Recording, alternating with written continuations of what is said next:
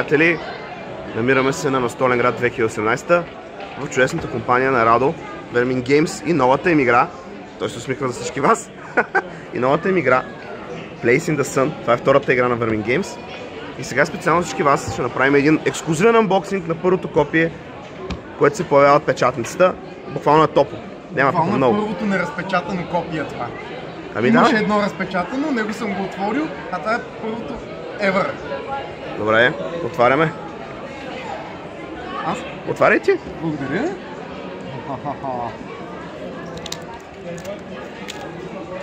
Тя е облечена в фолио, за да си я пазим. Естествено. За тези от вас, докато той сваля фолиото, които не са запознати с Place in the Sun, това общо е игра с карти, Engine Building, игра с карти бих я нарекал, Table Building, изключително много а, така вдъхновена механично като от игра като Race for the Galaxy, 51st State, с много яка sci-fi тема, много яка, от един истински любител на sci-fi като жанр, О, да. само това ще кажа. О, да. Която-. Това първо е, това е с правилата, Да. както виждаме, хубава стабилна книжка, вътре с доста примери, 16 страници, от тях половината да кажем, че са твърдо правила, иллюстрирани и така нататък. Другата половина са сапорт материали, които да ти помогнат да си разгледаш или пък допълнителни модове и така нататък. История. Сторито е много важно. Съдържание, стори, сетъп с схема как, Да. как, се, как се сетъпва. Прави, общите правила са тук на тия две страници, всичко е структурирано по страници.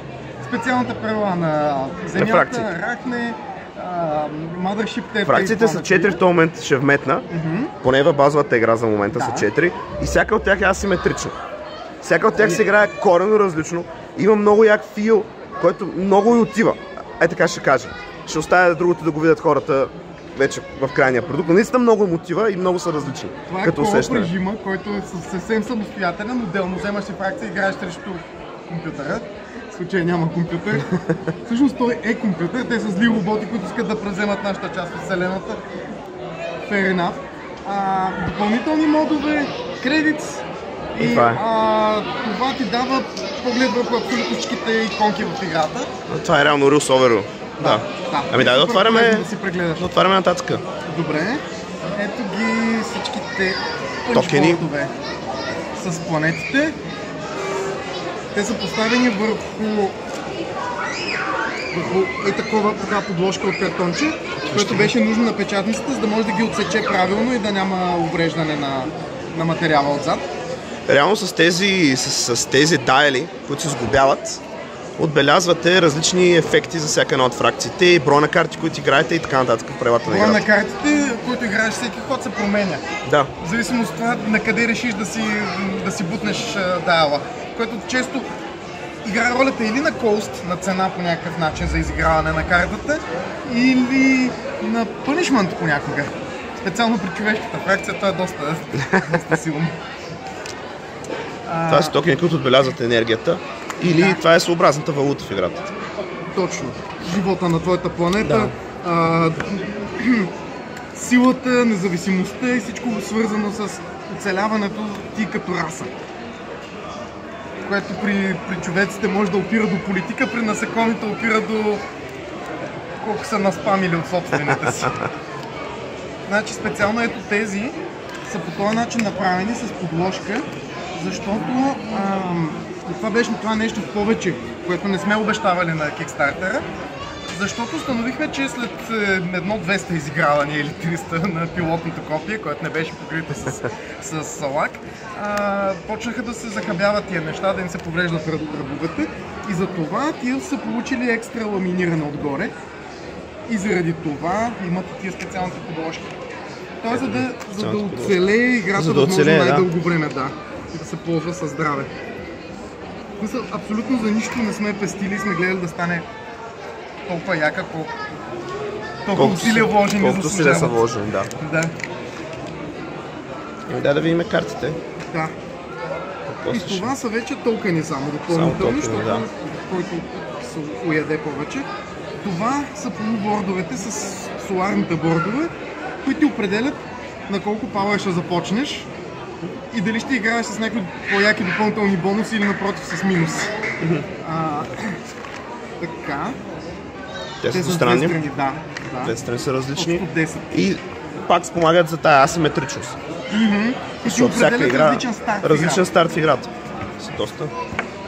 Така. Стигаме до същността. всичките Тековете 6 с карти. дека. Това с глобки. Да, с глобките за планетите. Така. И ето ги Арахне, Рея, растителната планета, Тета, свръхтехнологичните малки лилави човечета и нас, идиотите на Това галактиката са с тежките оръжия. Да. Значи имате, имате пришелци, зергове, подобни насекоми. Имате много яки дървета, които са много, много яки. много яки.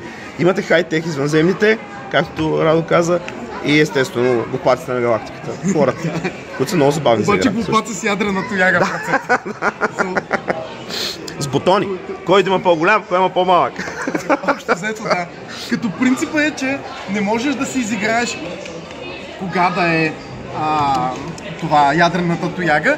Може да изиграеш само ако си не в демокрация или някакъв друг, що года либерален режим, а ако си на политически режим, авторитаризъм, на, тоталитаризъм, пардон, ето го тук сърпа и чука, или си на, на анархизъм, когато корпорациите тотално Това е, което нали, аз иска да кажа.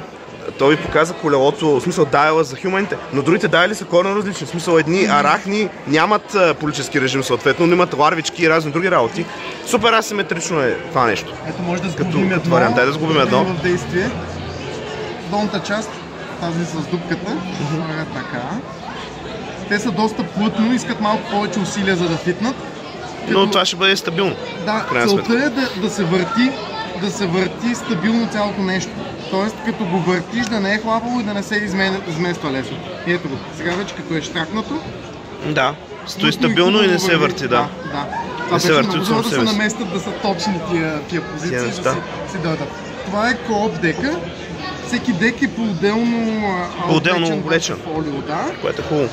Това е инфлуенс дека, който е допълнителен към играта, включително, който включва ето тези малки а, cheat карти.